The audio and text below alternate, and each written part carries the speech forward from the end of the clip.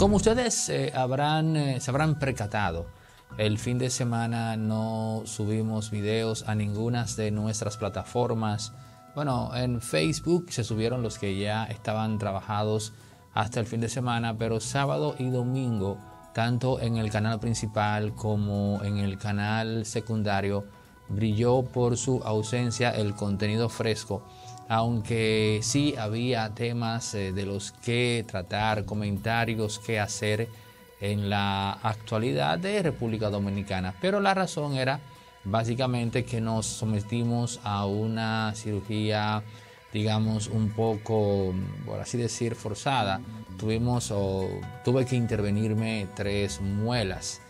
Y eh, grabé un video para el canal principal el, el, lunes, el lunes en la mañana.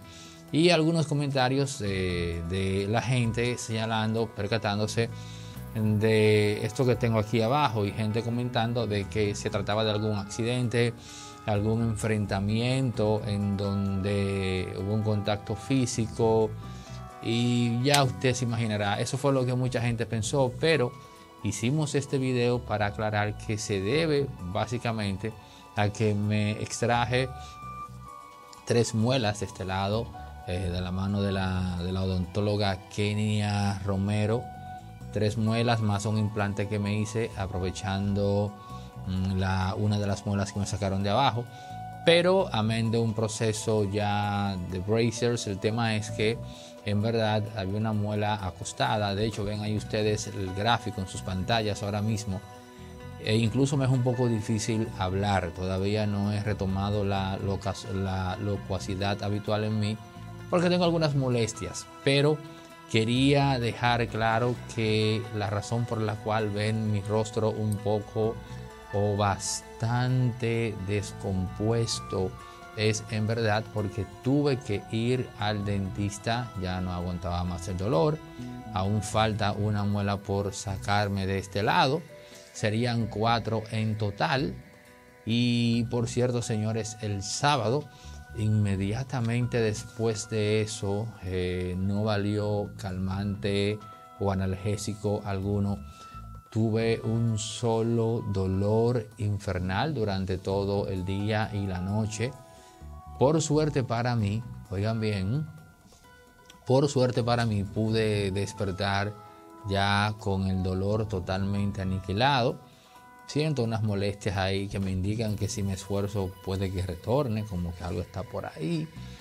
Pero quería hacer este video para aclarar que no se trata de ningún altercado físico, de que nadie ha tratado de, digamos, de imponerse sobre la base de la fuerza. Hasta ahora no, ojalá nunca pase eso, amén. Pero simplemente fue una operación odontológica en la cual se me extrajeron tres muelas, dos de abajo y una de arriba. Me cuentan que hay gente que se han sometido a este proceso y se han sacado hasta cuatro muelas. Tal vez en el caso mío el hecho de trabajar el implante en esa misma línea eh, lo dificultó un poco, pero ya estamos bastante mejor. Así que ya lo saben, aclarado esto, estamos esperando, digamos, unas cuantas horas para poder ya grabar de, de manera suelta y cómo acostumbramos a hacerlo. Imagino que a mucha gente no le es nada agradable ver esto así, pero decidimos arriesgarnos en contra de la voluntad de la odontóloga a, grabar al menos un video para el canal principal y luego esta aclaración para el otro canal de Novi Santos. Honestamente yo no veo la hora en la cual pueda volver a recuperar mi locuacidad, en fin, de manera fisiológicamente orgánica como es habitual. Pero nada, ahí estamos. Gracias por estar atento, dejar sus comentarios y mostrar su preocupación. Dios mediante, seguimos en este quehacer comunicacional. Nos agrada bastante trabajar para ustedes y que haya miles de personas que día tras día pues dediquen atención a los contenidos que hacemos. Seguimos.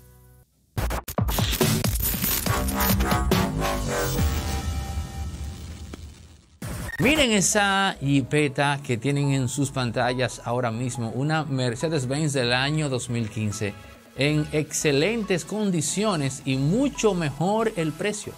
38 mil dólares negociables. Puedes escribirnos al 849-638-8652 para que te pongas en contacto, tengas detalles y también si quieres ver presencial esa flamante e imponente Mercedes-Benz 2015. Y para los amantes de los autos clásicos, miren ahí ese Daihatsu Sherman totalmente remozado, asientos en leather, aire acondicionado y en condiciones impecables con todas sus piezas originales, tan solo 12 mil dólares para los amantes y coleccionistas de autos eh, clásicos. Ahí está ese Sherman, ese Daihatsu Sherman. Así que también pueden escribirnos al 849 638-8652. ¿Y qué me dicen ustedes de esa Lexus 2021 450? Miren eso. Miren lo, digamos, la nitidez de ese interior, cómo se ve ese vehículo por fuera. Bueno, 2021 y a un precio muy inferior al que usted pagaría por ella si va al mercado. Llámanos o escríbenos más bien al 8496388652 para que la veas también y conozcas el precio que es tentador. Farmacia Medical GBC es la farmacia de los dominicanos abierta de lunes a domingo con los medicamentos a un 20% de descuento abriendo sus puertas en Puerto Plata y ojo que sigue expandiéndose en todo el país. Por eso la farmacia Medical GBC es la farmacia de nosotros los dominicanos. Energía eléctrica de manera ininterrumpida durante toda la vida al precio más competitivo del mercado solo a través de Ser Solar. Los expertos en la instalación de paneles y celdas fotovoltaicas Ser Solar, llámalos y compruébalo.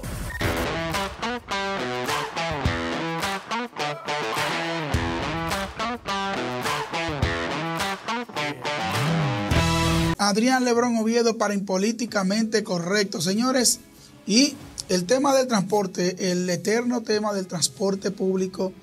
En República Dominicana, los transportistas que siempre se han creído que tienen un derecho supremo por encima del resto de los dominicanos.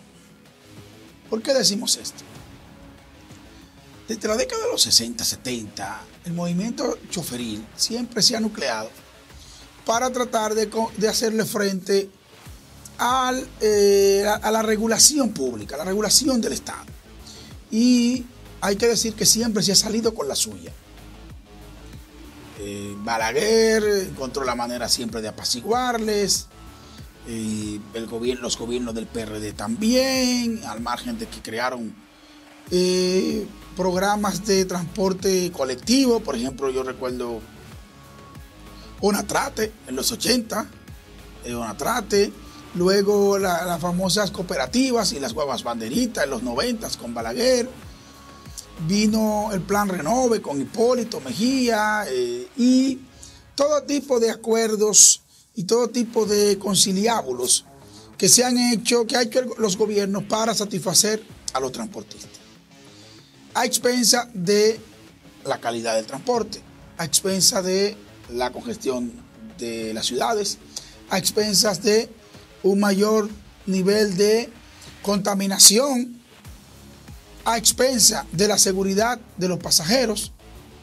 Es decir, nosotros hemos tenido que estar todos estos años bajo un chantaje, una extorsión de los transportistas de que o nos dejan mantener nuestro caos o nosotros hacemos desórdenes.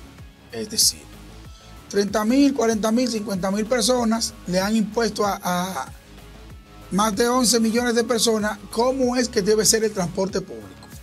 Usted puede creer una cosa así. Eso es lo que hemos tenido en República Dominicana. El proceso de eh, reorganización del tránsito,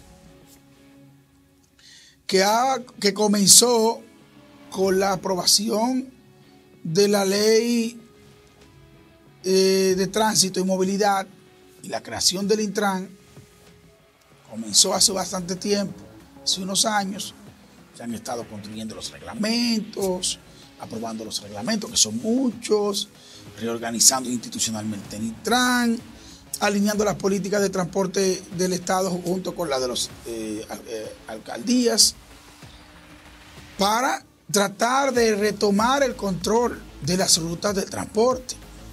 Ah, bueno. Pero cada vez que el Estado quiere hacerlo, cada vez que un gobierno quiere hacerlo, se encuentra con el muro férreo de los llamados transportistas, los sindicalistas, que los sindicalistas no tienen absolutamente nada. Porque no es verdad que ni Antonio Marte, ni el señor Uvieres, ni el de San Cristóbal, eh, Cambita, estos no son sindicalistas, nada, son propietarios de unidades que tienen un negocio de transporte en República Dominicana. Y con ese liderazgo es que los gobiernos han tenido que lidiar. Ahora, el gobierno actual está intentando de continuar con el plan de reorganización del transporte en la ciudad de Santo Domingo. Pues resulta que, en ese sentido, aunque yo pueda tener mis observaciones en la manera en cómo se han articulado estos corredores, los fideicomisos y todo aquello, estoy de acuerdo con que el transporte hay que reorganizarlo. Y la manera de hacerlo es adecentar el transporte. Uno, garantizar servicio oportuno y de calidad. Garantizar la seguridad de los, de los pasajeros. Esos son los elementos claves, yo pienso, que estos autobuses pueden contribuir en ese propósito. Pueden ayudar a la sociedad a mejorar, principalmente la ciudad de Santo Domingo, que como ustedes saben, los que vivimos aquí tenemos que estar enfrentando el caos que representa el tránsito en, principalmente en el polígono central, pero en todo el Gran Santo Domingo. Entonces no es verdad que nosotros podemos seguirle aguantando a tres o cuatro fascinerosos que cada vez que el, gobierno, un gobierno, va a tomar una decisión para tratar de asentar el transporte, usted comience a tirar piedras y a quemar guaguas. Aquí hay que aplicarle todo el peso de la ley. Si el Estado tiene que militarizar las rutas, que lo haga, pero que le imponga por la fuerza el nuevo modelo para reorganizar el tránsito y el transporte de pasajeros público. No es posible que este caos pueda continuar.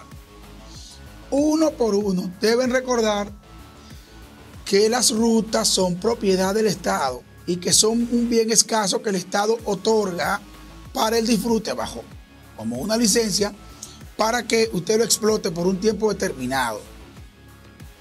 Si usted no tiene derecho de que, el corredor de la 27 de Juan Uvieres, que, las líneas interurbanas son de Antonio Marte, que, el corredor de la Charle de Gol es de Cambita. No, no, no, es que, esto, usted no tiene corredor, usted no tiene rutas, usted no ha hecho calle.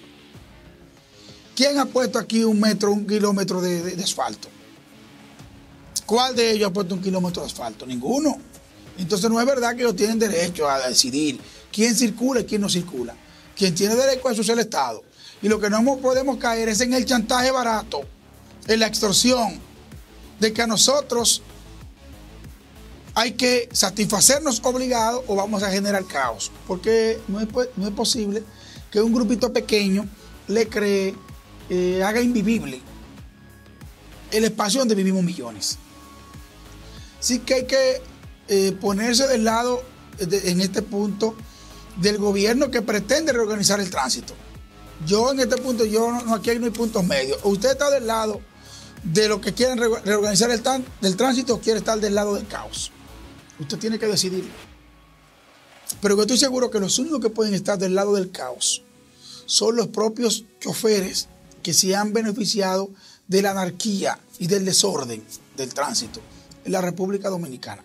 Nadie en su sano juicio que quiera vivir en una sociedad, en, una, en ciudades organizadas, puede estar de acuerdo con tener un montón de carritos de concho con los sprines salidos, donde atracan personas, acortando las rutas, contaminando el medio ambiente, generando congestión en las principales arterias de la ciudad, versus guaguas que tienen aire, que tienen una regularidad, que te ofrecen un servicio oportuno, que te ofrecen comodidad. No, hay medias tintas ahí. Yo no, yo no pienso que ahí haya disyuntiva alguna. Todo el mundo sabe de qué lado debe estar. Así que hay que condenar de la manera más enérgica los actos vandálicos contra los autobuses de estos corredores.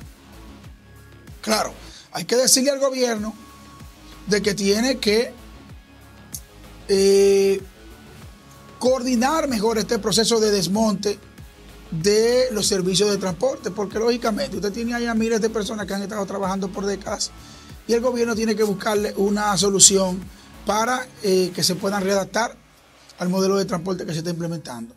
Porque al margen de esto, estas personas son ciudadanos que tienen derecho a vivir. Ahora no pueden seguir viviendo del desorden.